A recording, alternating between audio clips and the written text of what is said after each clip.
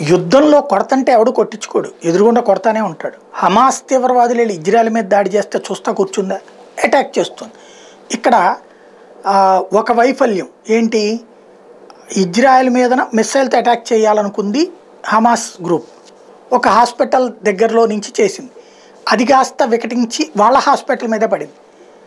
కానీ అది ఇజ్రాయలే చేసిందని ప్రపంచాన్ని నమ్మించాలనుకుంది. కానీ వీడియోలతో సహా రుజువు అయ్యేటప్పటికి మూసుకు కూర్చుంది. ఈలోపుగా ఇజ్రాయెల్ భారీ అటాక్ చేసింది.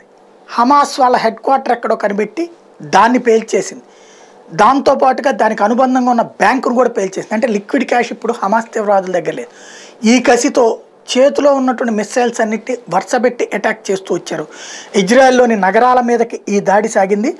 Hamas back to back rockets can be seen being fired towards Israel rockets fired by Hamas pierce the sky as loud sirens blared across southern Israel ఇది దక్షిణ ఇజ్రాయెల్లో భారీ ఎత్తున ఇవి కింద పడే లోపుగా సైరన్లు జనం అందరూ పరిగెత్తుకుంటూ షెల్టర్లో దాక్కోడు. ఈవెన్ ఆంటోనీ బ్లింకెన్ నెతన్యాహు కూడా షెల్టర్లో దాక్కున్నారు. ఈలోపు వీళ్ళ మిస్సైల్స్ ద్వారా వాటిని పేల్చేయడం ఇంత పెద్ద కథ నడుస్తుంది అక్కడ.